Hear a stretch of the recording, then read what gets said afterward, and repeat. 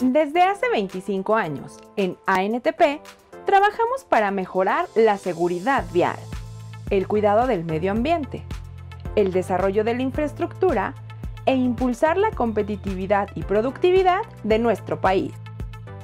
Información veraz y oportuna de la logística del transporte en ANTP Live. Usuarios del transporte de carga. Acompáñanos todos los miércoles a las 10 de la mañana en www.antp.tv. Nos interesa tu opinión. Escríbenos. Síguenos en nuestras redes sociales, Facebook, Twitter, YouTube, Instagram y LinkedIn. Encuéntranos como ANTPMX y ANTP México. Visita nuestra página web. Ingresa a www.antp.org.mx y conoce más sobre la logística del transporte de mercancías, seguridad vial, nuestros eventos y todo el contenido desarrollado para ti. Revista Transporte e Industria. Mantente informado sobre los aspectos más relevantes del sector transporte con nuestra publicación bimestral en la que podrás seguir de cerca nuestro trabajo. Transporte e Industria está disponible en versión digital y puedes consultarla en www.antp.org.mx diagonal revista. La información es poder y tú la tienes al alcance de un clic. Conoce y lee Transporte e Industria.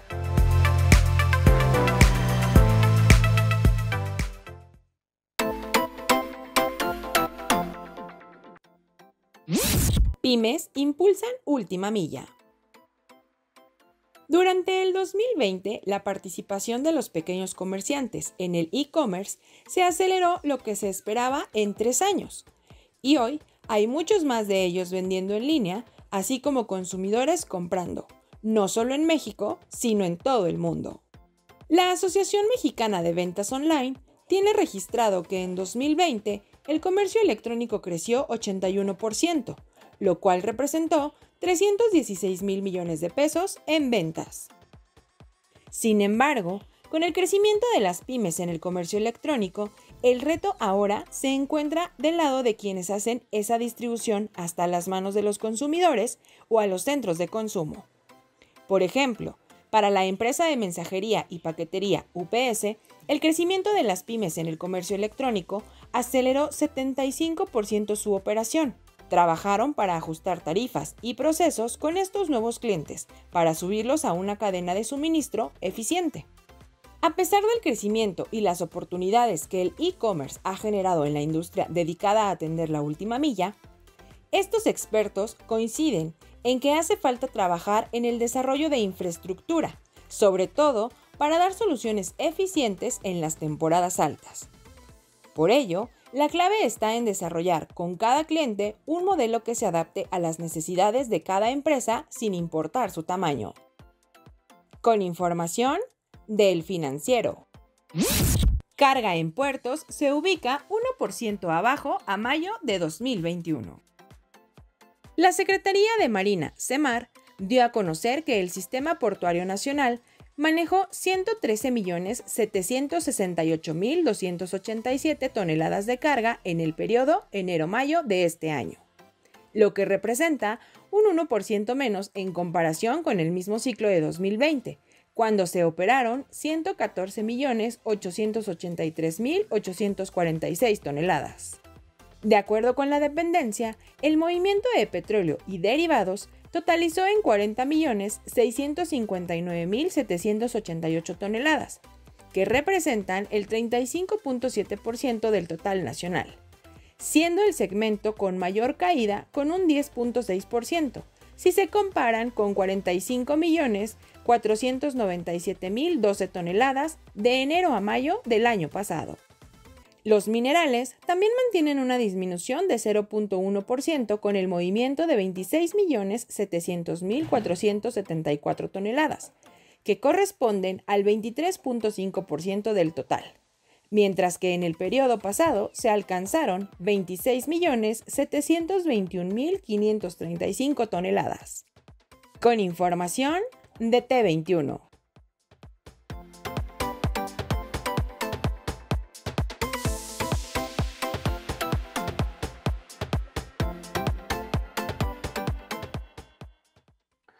Muy buenos días, sean bienvenidos a la emisión 454 de ANTP Live, usuarios del transporte de carga.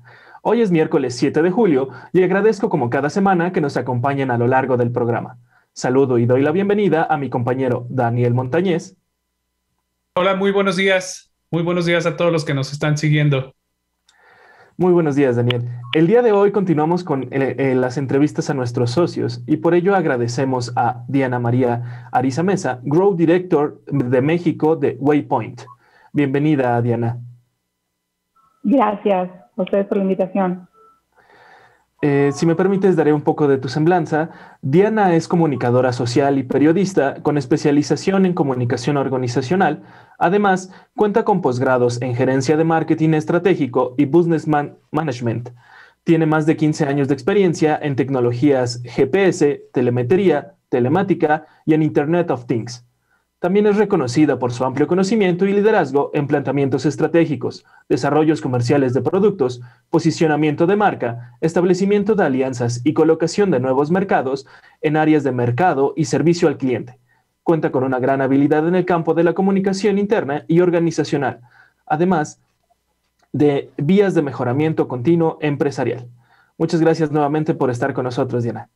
Y ahora, para comenzar con la entrevista, mi compañero Daniel, eh, si me hace favor, para comenzar con, la entrevista. Muchas gracias, Luis. Sí, eh, Diana, pues un placer tenerte en esta emisión de radio, que eh, es, un placer que estés con nosotros y que puedas compartir toda la información con los que nos estás, nos están escuchando. Y para iniciar con la entrevista, quisiera que nos iniciaras compartiendo ¿Qué es Waypoint? ¿De dónde, eh, de dónde vienen? Eh, ¿En México dónde se localizan? ¿Y cómo sus servicios favorecen la logística y el transporte de, mercancías aquí y en todo el mundo? Gracias, Daniel, por este espacio tan interesante y gracias a todas las personas que están participando en el mismo y que nos pueden escuchar. Mira, Waypoint es una multinacional. Nosotros tenemos más de 15 años de experiencia en el mercado internacional. Nuestra casa matriz está en Santiago de Chile, es una empresa originariamente chilena. Sin embargo, pues tenemos ya operaciones directas en México. Eh, y lo más importante es que logramos tener una amplia capilaridad para todos los servicios de soporte técnico, instalaciones, mantenimientos correctivos, preventivos en más de 45 ciudades de la República. Eso nos ha permitido pues atender un número importante de proyectos a nivel nacional y estamos en la capacidad evidentemente de ampliar esa capilaridad que tenemos de soporte técnico y comercial en la medida que los proyectos de nuestros clientes así lo ameriten. Nosotros inicialmente, eh, hace más de, de 15 años, cuando inicia la organización, empezó con desarrollos sobre plataformas propietarias. Aquí es importante hablar de que somos desarrolladores de nuestras propias plataformas y empezamos con telemetría y telemetría y tecnología GPS. Sin embargo, ya cuando fuimos entendiendo un poco más el mercado, cuando fuimos entendiendo también las necesidades y las expectativas de las empresas de transporte de carga, de logística, de mercancía, que, hacen parte también de esta, de esta asociación tan extraordinaria, empezamos también a implementar exitosamente plataformas que están orientadas a control de última milla, control de logística inversa y ruteo dinámico. Consideramos que nosotros nos hemos vuelto casi esos aliados estratégicos integrales para nuestros clientes en la medida de que logramos centralizar en una sola oferta de valor esta serie de soluciones que son de altísima demanda y de altísima importancia para nuestros clientes. No solamente es una solución de telemetría de GPS, sino que también empezamos a involucrarnos con los ciclos de operación de nuestros clientes para que puedan optimizar también de manera eficiente todos sus procesos internos, ¿no? Perfecto, muchas gracias. Este, hablando Em, en específico de, la plataforma y su plataforma, ¿de qué manera obtienen los datos para análisis en las empresas? Fíjate, nosotros tenemos diferentes fuentes de alimentación de datos. La, fuente más natural va a ser el hardware. Nosotros eh, cada vez que implementamos una solución tecnológica, le, le colocamos a nuestros clientes una amplia variedad de dispositivos que van desde dispositivos 100% satelitales, todavía hay nichos del mercado que requieren que haya transmisión 100% satelital, hasta llegar a dispositivos con descarga GPRS, que suelen ser los más, los más comúnmente utilizados porque son un poco más asequibles y accesibles para muchos clientes. En, en ese caso representamos a las mayores casas fabricantes a nivel mundial de dispositivos, si bien somos los desarrolladores del software, a nivel de hardware sí lo que hacemos es eh, comercializar eh, productos de estas casas fabricantes. Tenemos casas fabricantes europeas, norteamericanas, sudamericanas, orientales, en fin, o sea, una amplísima variedad y de manera muy responsable estamos trabajando siempre con las mejores, con aquellas que nos den un excelente soporte técnico, con aquellas que ya estén desarrollando equipos 3G y 4G, porque es un riesgo hoy día eh, para las empresas estar eh, instalando dispositivos de una gama inferior de manera responsable con la inversión de nuestros clientes. Lo que logramos es que sean eh, dispositivos de última generación eh, para de alguna manera retrasar o minimizar el riesgo de la obsolescencia de esa tecnología. Em, también tenemos pues, una serie de accesorios periféricos y de sensores que nos ayudan también a terminar de integralizar las soluciones. sensores y accesorios periféricos que van desde mm, soluciones relativamente elementales para algunas de las personas que nos están escuchando, como puede ser un audio en cabina, una apertura y cierre de puerta, hasta llegar a soluciones de video en línea. Hoy día tienen altísima demanda para nuestros clientes, pasando por control de cadena de frío, pasando por control de combustible, eh, sensores para poder determinar somnolencia y fatiga en los conductores, alcoholímetros, en fin, es una amplísima variedad tanto de accesorios periféricos como de sensores. Y por último, pues también complementando lo que me estás preguntando, también tenemos plataformas de Business Intelligence, de, minería de datos, todo bajo el concepto de la analítica en tiempo real. Lo que hacemos es transformar datos en conocimiento para nuestros clientes, ¿ok? Nuestra plataforma de Business Intelligence también nos permite eh, obtener una cantidad de información de las actividades de nuestros clientes, le damos esos datos a los clientes para que de alguna manera tomen eso, esos datos, los conviertan en información que a la larga pues es, el, es, como el cimiento para sus decisiones gerenciales. Esas serían como las fuentes más, más comunes para que nosotros podamos presentarle a nuestros clientes soluciones en tiempo real. Excelente, Diana, ¿no? Pues realmente muy, una gama muy amplia y totalmente eh, una serie de, eh, eh, fuentes de donde obtienen toda esta información muy interesantes. Dentro de todo esto, ustedes tienen un, un producto que se llama TrackView Lite. Así es. Dinos, cuéntanos un poquito cuáles son las ventajas que las, que las empresas obtienen al, utilizar este TrackView. Fíjate, TrackView Lite es una herramienta de planificación de rutas. ¿ok? Mm, normalmente este tipo de actividades eh, le representan a las empresas mucha inversión tanto en recurso humano como en recurso tecnológico, así sean empresas dedicadas a la logística o tengan gran experiencia eh, en el tema logístico, como es el caso de las empresas afiliadas. Nosotros lo que hicimos fue incluir esta herramienta como un módulo más dentro de nuestra plataforma de telemetría, lo que lo hace bastante asequible y la verdad hago énfasis en la palabra asequible porque a nivel de inversión para nuestros clientes es, es mínima, ¿eh? porque ya está embebida dentro de nuestra plataforma de telemetría y no genera un sobrecosto para, para el cliente que la quiere implementar. Eh, con, esta, con este módulo lo que logramos es hacer una planificación idónea, obviamente con base en unas reglas de negocio que la misma operación de, del cliente nos da como pauta, a través de unas características de optimización, como pueden ser analizar el tipo de flotas o el tipo de activos que tienen nuestros clientes, analizar su capacidad de carga, muchos vehículos pueden estar incluso subutilizados, eh, poder analizar zonas geográficas de distribución de sus clientes para poder dinamizar toda esa planificación de ruta y que esté acorde a las exigencias mismas del mercado y de su cliente y de su cliente final determinar si son rutas fijas, por ejemplo, o son rutas dinámicas. Cuando estamos hablando ya de rutas dinámicas, entramos ya con otra herramienta, que también es otra plataforma muy robusta que sirve para ruteo dinámico, ver ventanas horarias, en fin, una serie de reglas de negocios que están cimentadas en la operación misma de nuestros clientes, porque logramos con este tipo de soluciones de que sean soluciones escalables y que sean soluciones que evidentemente tienen las expectativas y se equiparen a la operación misma. Entonces, es una herramienta, como te digo, autogestionable, de muy fácil manejo y 100%, 100 customizable. Perfecto, muy interesante sin duda.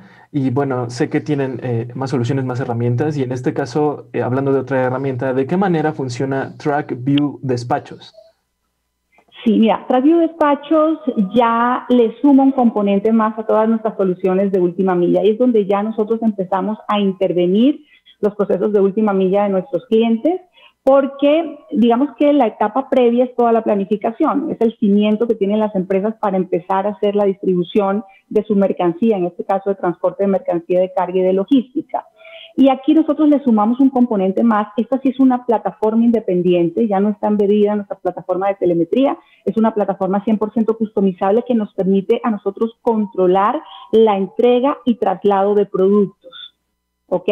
TradView, Despacho se complementa con TradView Lite en la medida de que le permite a nuestros clientes tener toda la trazabilidad desde que su vehículo con su mercancía sale de sus centros de distribución o, o, puntos de orígenes, como quieran denominarse, al interior de las compañías, y es toda la trazabilidad hasta su punto de destino. ¿Ok? Punto de destino puede ser otra sucursal, puede ser un distribuidor, puede ser el cliente final. Generalmente ese cliente final es toda la trazabilidad en tu end. Nosotros con eso controlamos el ciclo de operación de nuestros clientes y logramos también darle una herramienta para minimizar el impacto de la logística inversa, que es otro concepto que se trabaja muchísimo al interior de las empresas de transporte de carga y de logística, entendiéndose la logística inversa como otro retorno de aquella carga que vuelve al punto de origen por diferentes causales. Hemos, hemos visto que muchos clientes tienen gran complejidad en el manejo de este tipo de, de etapas dentro de su, de su control de última milla porque no tienen realmente cuáles son eh, los registros o cuáles son las causales de las devoluciones y eso impacta financieramente a las empresas. Entonces nosotros logramos con este tipo de plataformas, TrackView Despacho Última Milla, darle a nuestros clientes visibilidad y trazabilidad de cómo recibe el receptor de su carga, llámese cliente final o llámese eh, incluso cliente interno, cómo recibe la carga si llegó en tiempo y forma, si llegó en las cantidades que esperaba, si llegó en buen estado, llegó en mal, estado, tener registros en tiempo real de cuáles son esas causales de devolución y empezar a hacer, pues obviamente, empezar a, a, tener buenas prácticas para que, para que ese tipo de situaciones pues no se, no se vuelvan eh, recurrentes en la organización y sigan afectando sus finanzas, ¿no? Entonces, el, el, concepto eh, de la creación de TrackView Despachos es poder controlar la última etapa del proceso logístico y eso es lo que logramos a través de nuestra herramienta. Perfecto, Diana. Eh, me, me, llama la atención y quisiera abordar un poquito más dentro de todo esto que nos platicas en, en la parte de despachos. Eh, y me queda una duda que quisiera nos apoyaras a, responder. Eh, dentro de todo esto, eh, su herramienta se vuelve, más bien el usuario se vuelve administrador o, Waypoint se vuelve también como auxiliar. Es decir, para todo este levantamiento de seguimiento de los vehículos hay que hacer un levantamiento de información. ¿Todo eso se encarga el usuario o ustedes también lo apoyan con todo ese levantamiento de eh, número del vehículo, número de placa, todas esas cuestiones, ¿cómo, ¿cómo se solucionan? Mira, muy buena pregunta porque sí tiene que haber una actividad híbrida entre lo que nosotros le aportamos a nuestros clientes y lo que los clientes nos tienen que aportar a nosotros. Esta plataforma generalmente se integra con otro tipo de plataformas que los clientes ya tienen de manera natural en, sus organizaciones. Las más, las más importantes son las RPs.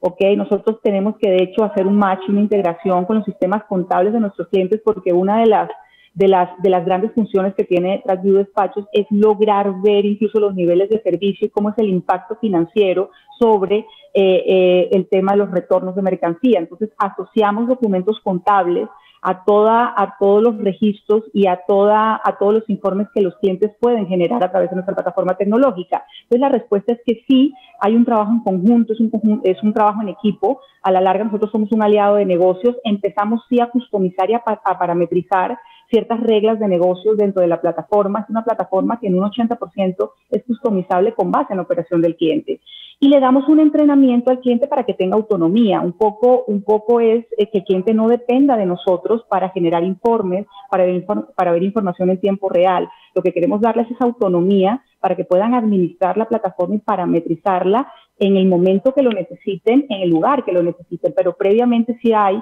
unas series de integraciones que se hacen vía web service, con sus RP, sistemas contables, sistemas incluso de planificación de rutas si ya lo tienen eh, utilizando en, su, en, su, propia organización, pero pues la idea es que ellos tengan libertad absoluta a través de un, de un entrenamiento constante y un acompañamiento para que ellos puedan disponer de la plataforma en el momento de que lo, que lo requieran. Pero sí es un trabajo en equipo constante entre nuestro equipo de TI y eh, el equipo operativo de nuestros clientes. Muchas gracias, Diana. Y hablando, nos hablabas ahí de algunos parámetros que dan seguimiento. Eh, antes de finalizar, ¿nos podrías compartir cuáles son las mejoras o los KPIs que han logrado obtener para sus clientes? Sí, fíjate, e, el universo de KPIs es tan amplio como soluciones eh, que tenemos, ¿no? Y tan amplio como operaciones de nuestros clientes hay dentro de la organización. Nosotros tenemos diferentes soluciones eh, tecnológicas que van, como te decía, desde la telemetría básica hasta eh, opciones de, de control de última milla. Lo que sí puedo decir es que como común denominador hemos visto que nuestros clientes han tenido unas mejoras significativas que generalmente superan el 40% en los procesos logísticos internos de las organizaciones. Eh, ¿Cómo logramos nosotros medir esos KPIs? Dentro de las soluciones tecnológicas hay también herramientas estadísticas, porque pues lo que no mides difícilmente sabrás si funciona o no funciona. Entonces no solamente es darte una solución teórica y práctica, de cómo puedes tú mejorar tus procesos, sino cómo puedes a través de unas herramientas estadísticas que se incluyen dentro de las soluciones tecnológicas, medir esos resultados, medir ese indicador de gestión como tú lo estás mencionando como un KPI. Entonces, a través de esas herramientas estadísticas que tienen todas nuestras soluciones tecnológicas, nosotros logramos medir esos KPI y normalmente estamos hablando de que el sector de transporte de carga y de logística, los KPIs que más demanda son los orientados precisamente a la entrega de productos, ¿no? Entonces tenemos porcentajes asociados a entregas fallidas, porcentajes asociados a entregas efectivas, niveles de servicios y tiempos de respuesta, eh, cómo impacta o, cómo impacta a nivel financiero el retorno de cierta mercancía. Entonces son KPIs que realmente eh, son, digamos que los más frecuentes y los que más medimos de manera favorable para nuestros clientes. Perfecto, muchas gracias por toda esta información tan importante eh, para los socios para eh, que conozcan cuáles son las soluciones que manejan, que se puedan acercar con ustedes para, bueno, para comentarlo, para que eh, platiquen cómo se pueden adaptar uno, uno, con el otro. Muchas gracias y nuevamente agradecemos que nos hayas acompañado hoy en esta emisión. Si tienes eh, algún comentario que desees agregar. No, Luis Ángel, darles las, gracias. Nosotros estamos recientemente vinculados con la asociación, estamos la verdad eh, muy satisfechos con una gran experiencia que hemos tenido. Este tipo de espacio nos ha servido pues, para dar a conocer nuestro producto y nuestra, nuestro portafolio de soluciones, que como te digo es una oferta integral. Agradecerles este espacio y bueno, esperamos que podamos contactarnos con diferentes empresas que saben que tienen unas necesidades puntuales sobre el tema de última milla y bueno, darles una oferta de valor en beneficio de su propia operación. Claro que sí, eh, muchas gracias. Y bien amigos, es momento de ir a un corte comercial. Les recordamos que pueden seguirnos en Facebook, Twitter, Instagram, YouTube y LinkedIn. Nos encuentran como ANTP México o ANTP MX. Seguimos con más en ANTP Live, usuarios del transporte de carga. Los dejamos con este video de Waypoint y volvemos con más del sector del transporte de carga. Muchas gracias. ¿Cómo automatizas la organización de la flota compartida en tu organización? ¿Conoces la disponibilidad de los vehículos? ¿Te gustaría saber si la flota está siendo utilizada a su máxima capacidad? Con Fleet Booking podrás administrar de forma fácil y eficiente las reservas de los integrantes de la compañía, permitiendo tener la trazabilidad de uso de los vehículos en orden con las reglas del negocio. Te libera de procesos manuales, informales y subjetivos de la asignación de móviles, compartiendo la responsabilidad entre los usuarios y encargados de flotas. El servicio y sus reportes permitirán definir normas de uso de la flota, modelar las reglas del negocio y sus condiciones de uso automático. La información obtenida guiará la disminución de costos y aprovechamiento al máximo de los recursos disponibles, confirmado si la estimación de la flota es correcta de acuerdo con la demanda. La agenda abierta en formato calendario, organizada por sedes y flotas, los permisos de edición a usuarios y las solicitudes por topes o restricciones le permitirán tener toda la información consolidada para la toma de decisiones y organización de los vehículos. La agenda abierta en línea y responsabilidad compartida entre los usuarios permite mayor rapidez, eficiencia, automatización y transparencia de los procesos. Como conductor puedes usar los servicios desde tu oficina o desde la comodidad de tu teléfono. Gestionar tu flota compartida puede ser más simple con Fleet Booking de Transity. Nuestro servicio se adapta al modelo de cada negocio, ya que sabemos que cada empresa es diferente. Transity. Now you know. Recuerda que para evitar la propagación del COVID-19, tienes que lavarte las manos con frecuencia, usar agua y jabón o un desinfectante de manos a base de alcohol. Mantén una distancia de seguridad con las personas. Utiliza mascarilla cuando no sea posible mantener el distanciamiento físico. No te toques los ojos, la nariz ni la boca. Cuando tosas o estornudes, Cúbrete la nariz y la boca con el codo flexionado o con un pañuelo, que deberás desechar al momento. Si no te encuentras bien, quédate en casa. Y es importante que en caso de que presentes algún síntoma, busques atención médica. Si te cuidas tú, nos cuidamos todos.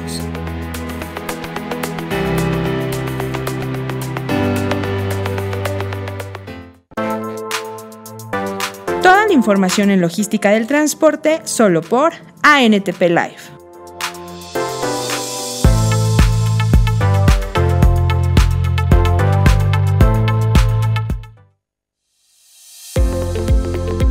¿Sabías que los puertos de México superaron los 3 millones de contenedores?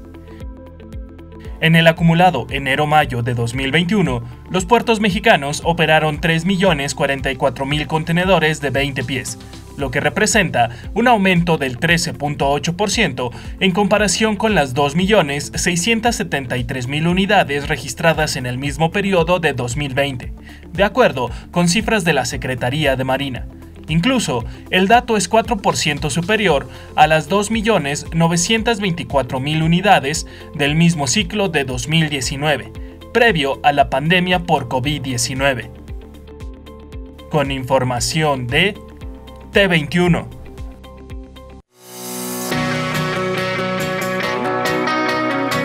En marcha, 15 proyectos prioritarios de carreteras federales. El gobierno federal trabaja en 15 proyectos prioritarios de construcción y modernización de carreteras federales, con una inversión de 33.144 millones de pesos, informó Jorge Nuño, secretario de Infraestructura de la Secretaría de Comunicaciones y Transportes. El funcionario expuso que la actual administración tiene la meta de construir o modernizar 638.3 kilómetros de carreteras federales. Este plan forma parte del programa Estrategia para los Caminos del Bienestar 2021-2023, que hasta el momento incluye 26 obras carreteras y una inversión de casi 38 mil millones de pesos. En general, con el programa plurianual para carreteras federales y caminos rurales y alimentadores que concluye en 2023, contendrá nuevos proyectos y su inversión del gobierno federal podría superar los 50 mil millones de pesos, informó el subsecretario de Infraestructura, con información de Transporte y Turismo.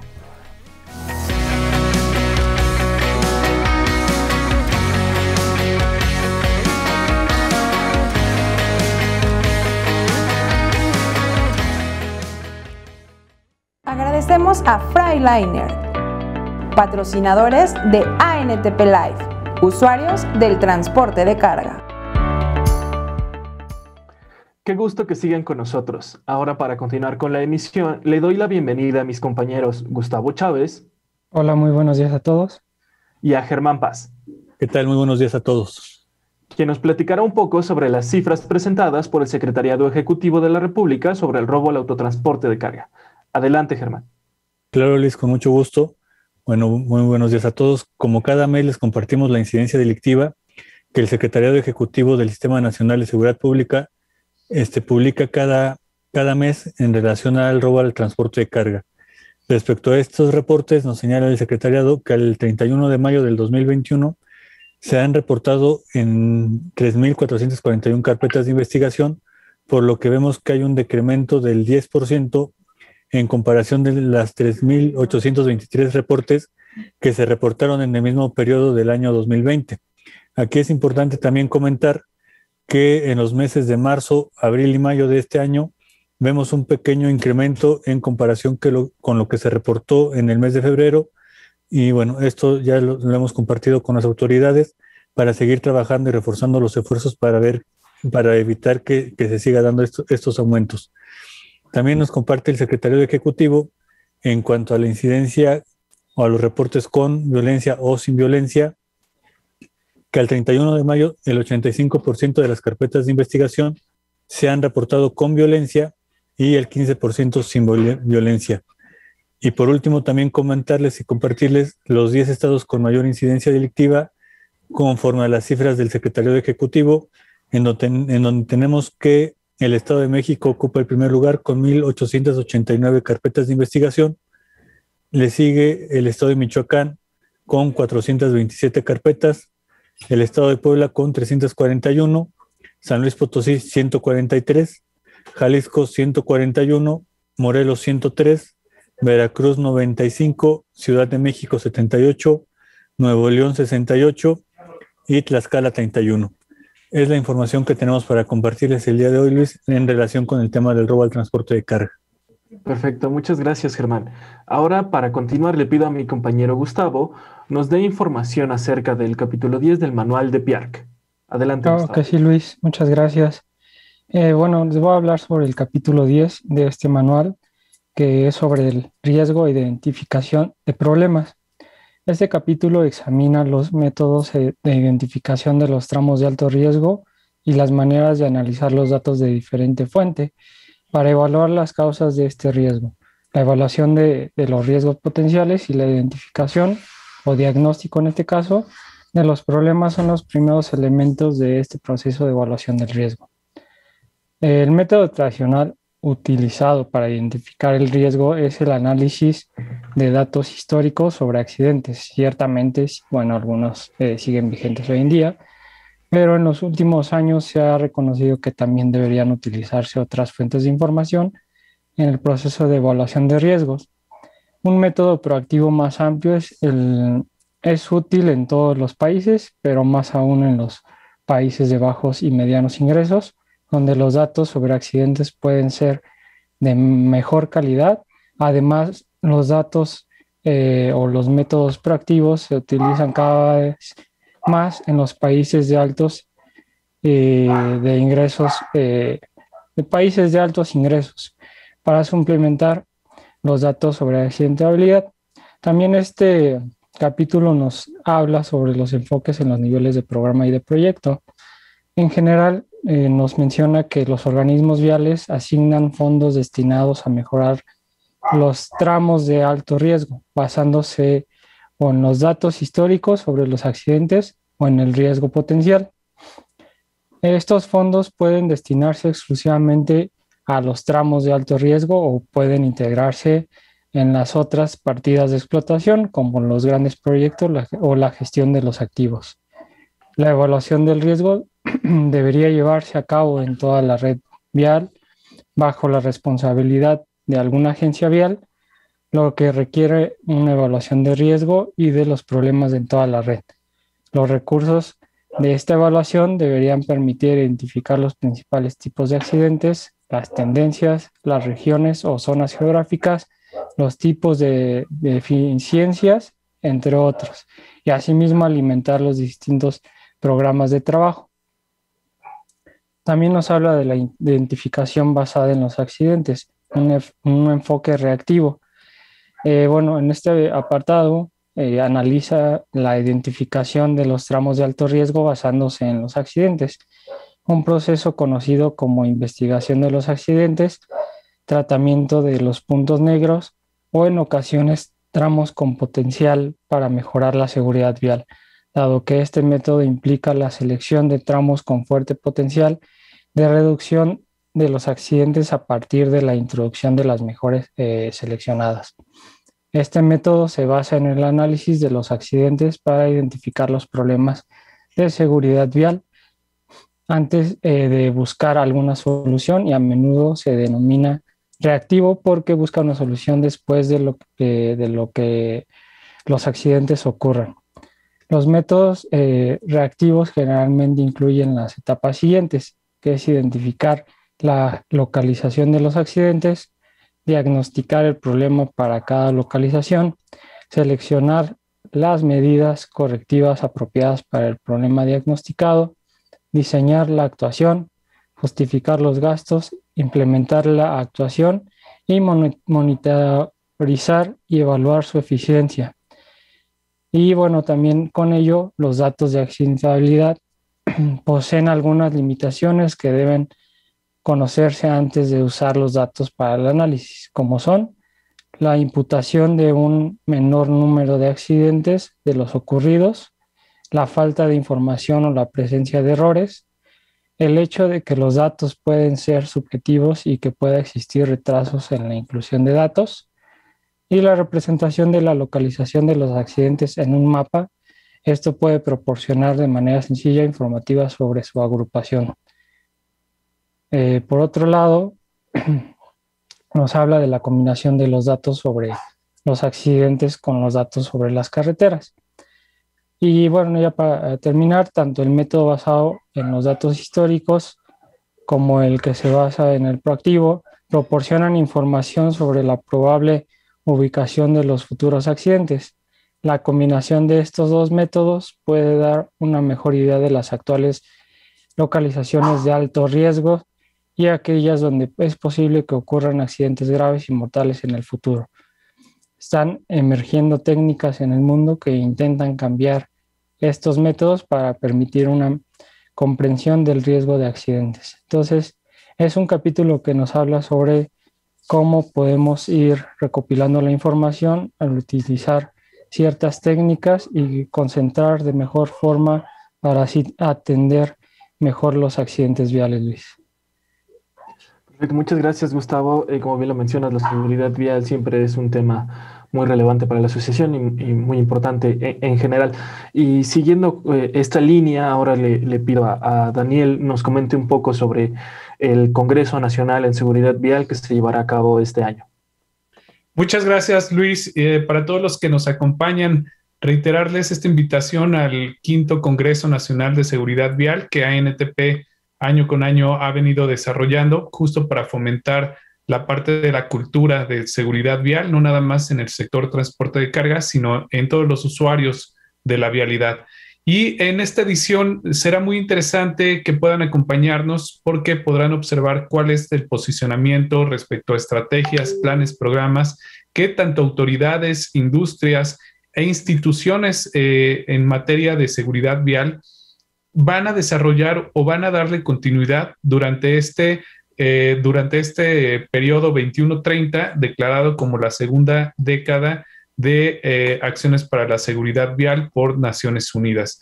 Será interesante saber cuáles eh, serán todas estas estrategias, planes y programas por parte de cada uno de ellos para poder cumplir el objetivo de reducir cuando menos un 50% las muertes y lesiones graves que generan los accidentes eh, o las colisiones de vehículos automotores.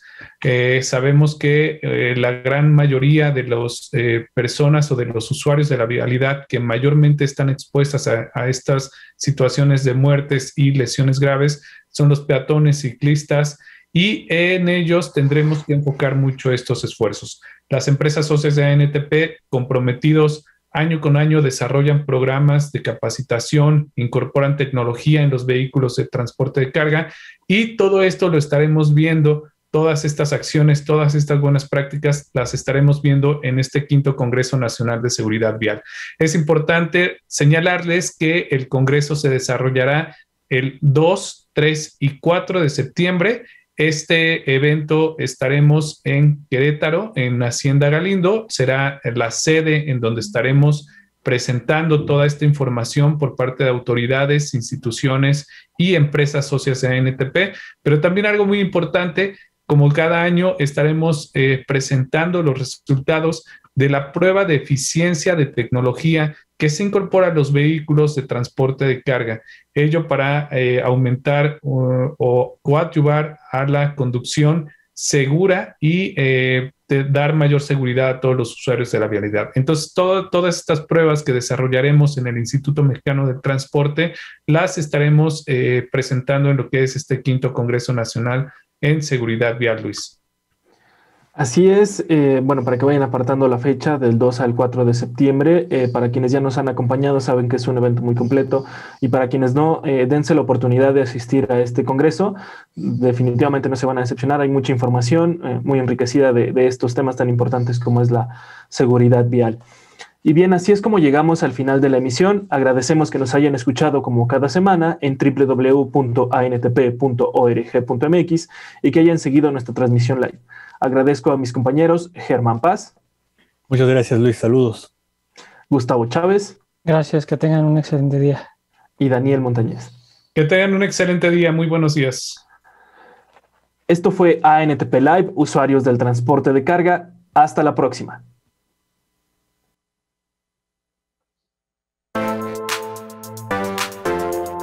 Desde hace 25 años, en ANTP, trabajamos para mejorar la seguridad vial, el cuidado del medio ambiente, el desarrollo de la infraestructura e impulsar la competitividad y productividad de nuestro país.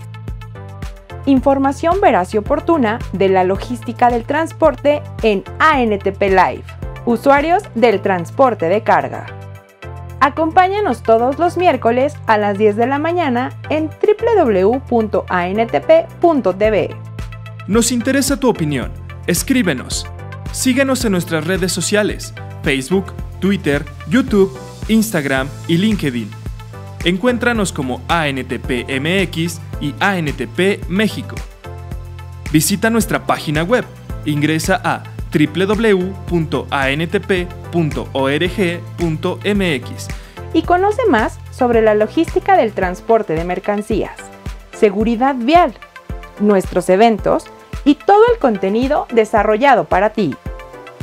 Revista Transporte e Industria.